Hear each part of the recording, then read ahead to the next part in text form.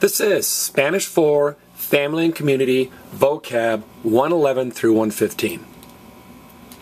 Now, Easter is Pascua. Everybody say Pascua.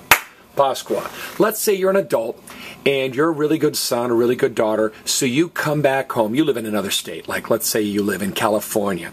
So you come back home to Missouri for all the major holidays. So at the end of the Christmas holiday, your dad says to you, So, son, or so, daughter, when will I be seeing you again? And you say, Pa, see the word Pa? I will see you at Easter. Get it?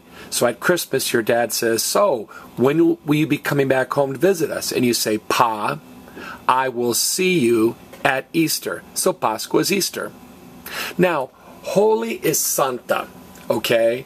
Like uh, Santa Maria means Holy Maria, or Santa uh, Santo Domingo. So we say Holy Week, and they say Week Holy. Now, how are we going to remember that Semana is week? We haven't seen that for a while.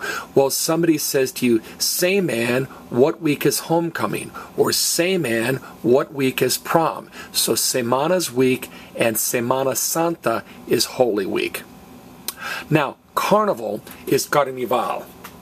It's the big party that leads up to Easter. The theme for this little list is uh, kind of Catholic uh, religious events because remember, about 90% of the Spanish speaking countries are Catholic. So Carnival, Carnival is like Mardi Gras and all that. It's exactly the same word, El Carnival okay?